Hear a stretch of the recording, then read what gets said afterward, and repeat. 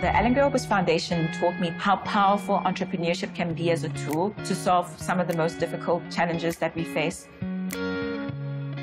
So Deep Medical Therapeutics offer um, pathology services and our aim is really to make pathology services more accessible and affordable for Africans.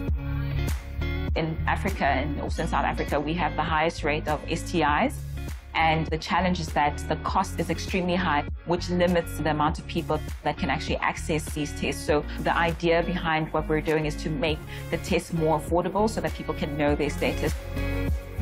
I definitely love the work that I do. It's my life passion.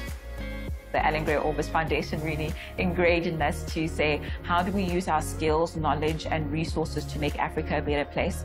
And I'm really going to just dedicate my life to making sure that Africa is in a better place in terms of healthcare.